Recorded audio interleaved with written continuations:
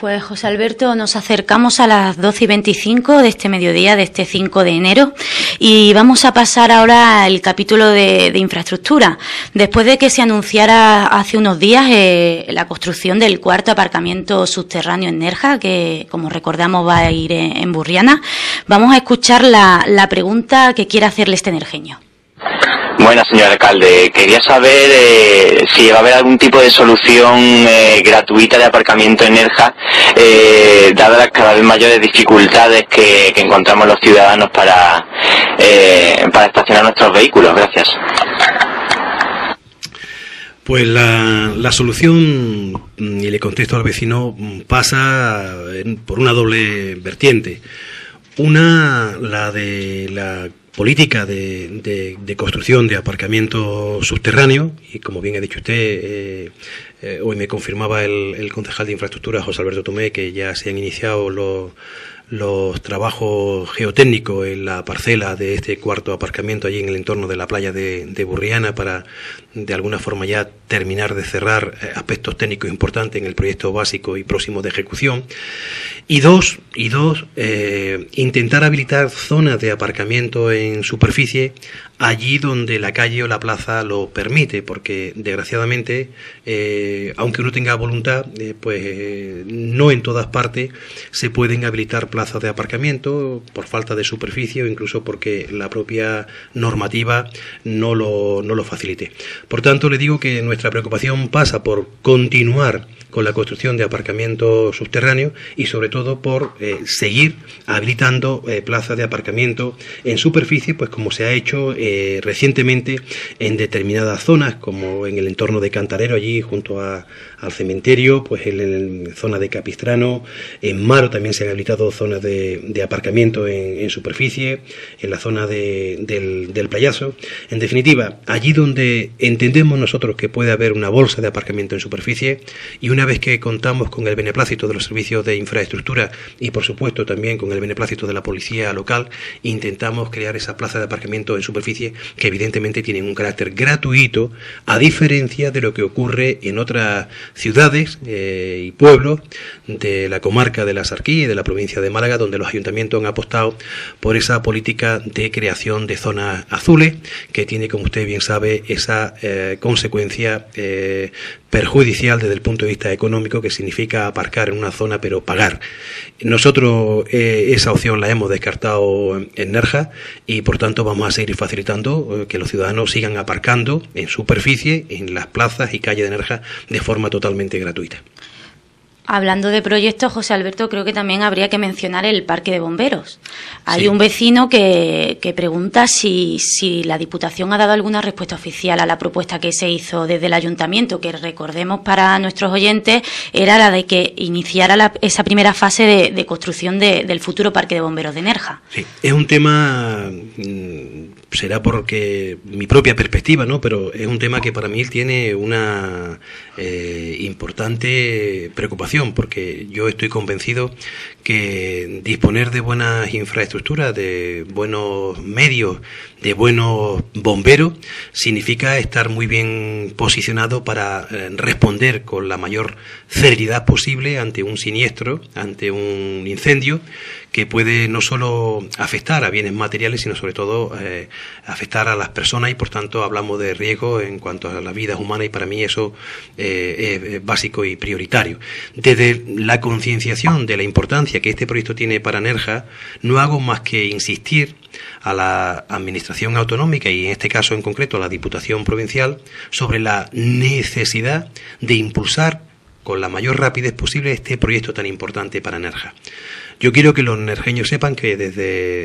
eh, finales de 2008, si no me falla la memoria, el ayuntamiento acuerda en pleno ceder la parcela a la Diputación Provincial para poner en marcha eh, este importante proyecto para Nerja. La Diputación eh, tardó lo suyo, pero hizo también su deber redactó el proyecto necesario para la construcción del parque y nos quedaba por abrir la última puerta, en este caso la implicación de la Junta desde el punto de vista de la financiación, porque los parques de bomberos se financian con el apoyo económico de la, de la Junta de, Andalucía. Bien, eh, recibí ese jarro de agua fría mm, por parte del representante del gobierno de la Junta de Andalucía en Málaga, de que no había posibilidades económicas para, para impulsar este, este importante proyecto para Nerja. Y como consecuencia de la, de la insistencia y sobre todo como consecuencia del ofrecimiento que le, que le hice al presidente de la Diputación y al diputado correspondiente de que el ayuntamiento pudiera anticipar eh, una aportación eh, para financiar la que pudiera ser una primera fase para en definitiva arrancar con Poner este, en marcha este proyecto, este proyecto eh, me consta que eso ha servido para que también la Diputación y la Junta se sienten y valoren otras alternativas como puede ser el disponer de bajas presupuestarias que se han producido en las adjudicaciones de otros proyectos, de utilizar partidas presupuestarias sobrantes e incluso también valorar el ofrecimiento del, del Ayuntamiento de Nerja. El día 30 de diciembre en Málaga, la Diputación, celebramos una Junta General del Consorcio de Bomberos. Hablamos de este asunto, como usted puede imaginar, planteado por el alcalde de Nerja, y una respuesta por parte del presidente del consorcio, que es además diputado responsable de, Bomberos, que en este mes de enero habrá un pronunciamiento definitivo acerca de la fórmula que Diputación y Junta vayan a utilizar para reactivar este proyecto. Yo espero y deseo que en febrero marzo podamos estar hablando de la construcción del Parque de Bomberos de Nerja. Pues José Alberto, a las doce y media de la mañana, en el 103.3 de tu emisora, continúa el alcalde responde. Vamos a tomarnos un respiro y volvemos aquí en unos minutos. Pues seguimos aquí a las 1 menos 25 de la tarde en El Alcalde Responde en el 103.3, Radio Nerja. Bueno, José Alberto, de los proyectos que hemos estado hablando anteriormente, vamos a pasar a, las reivindicaciones que mes tras mes preocupan a, a nuestros vecinos. Vamos a escuchar la siguiente pregunta. Me gustaría saber cómo marcha el proyecto de la depuradora y del campo de golf. Y también pues una preocupación muy importante la que tiene esta vecina porque me ha planteado dos proyectos que son muy importantes para el municipio de Nerja y desgraciadamente no andan como yo quiero pensar que los nerjeños y las nerjeñas deseamos que, anden. Eh, me pregunta usted por la, por la depuradora y yo le digo que eh, estamos pendientes de, recibir información del, Ministerio de Medio Ambiente, porque hace ya algunas semanas la Junta de Andalucía envió al Ministerio la documentación necesaria para que el Ministerio haga lo que le corresponde, que no es otra cosa en estos momentos que tramitar lo que se llama la Declaración de Impacto Ambiental. Una vez que se tramite por parte del Ministerio de Medio Ambiente la declaración de impacto ambiental y ésta sea favorable, habremos llegado al último peldaño de esta larga y dificultosa escalera y ello permitirá al Ministerio, si hay financiación en los presupuestos del Estado, poder licitar por fin el proyecto y obra de eh, la depuradora de, Nerja. Y eso significa, porque no quiero crear eh, falsas expectativas a los vecinos y a las vecinas, y eso significa que en un plazo breve vamos a ver la depuradora eh, en construcción y mm, calles de Nerja levantadas porque haya que introducir colectores de saneamiento? pues no.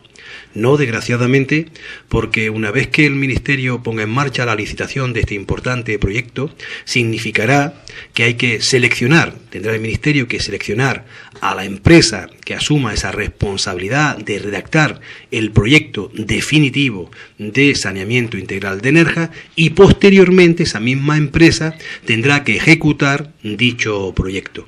Por eso le digo que siendo optimista y pensando eh, que ambas administraciones, especialmente ahora la del Estado, cumpla con sus obligaciones y ejerza adecuadamente sus responsabilidades, y teniendo en cuenta que acabamos de iniciar el 2011, podría ser un éxito si se llegara a ese 2015 con ese vertido cero que hace algunos días anunciaba el responsable de la Agencia Andaluza del Agua, para eliminar definitivamente este punto negro que enerja desde el punto de vista de la depuración de, las aguas eh, residuales.